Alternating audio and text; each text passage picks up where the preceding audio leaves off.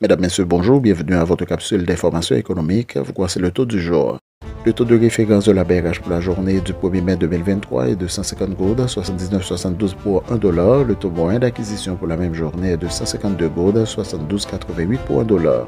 À la clôture du marché le vendredi 28 avril 2023, le baril de pétrole était à 76,78 soit une augmentation de 2,7 Baisse en glissement annuel de 3,4% du secteur tertiaire au cours du premier trimestre de l'année fiscale 2023 contre une hausse de 2,6% pour la même période de l'exercice antérieur. L'indice global de l'indicateur conjoncturel d'activité économique de la branche restaurant, hôtel et la construction respectivement décru de 7,9 et 2,1% sont notamment les composantes qui ont contribué à la baisse observée pour ce secteur informe l'IHSI.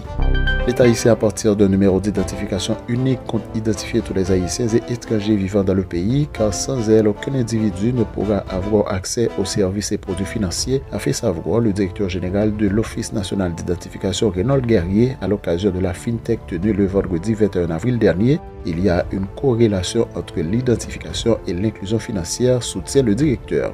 La banque régionale américaine First Republic s'est effondrée vendredi à Wall Street.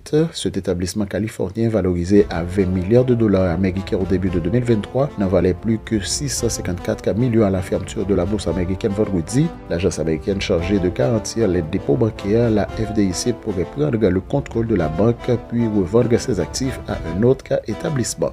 Fin de la rubrique Profil Info. Merci de votre écoute. Bonne semaine et à demain. Profil Info, une courtoisie du groupe Profil.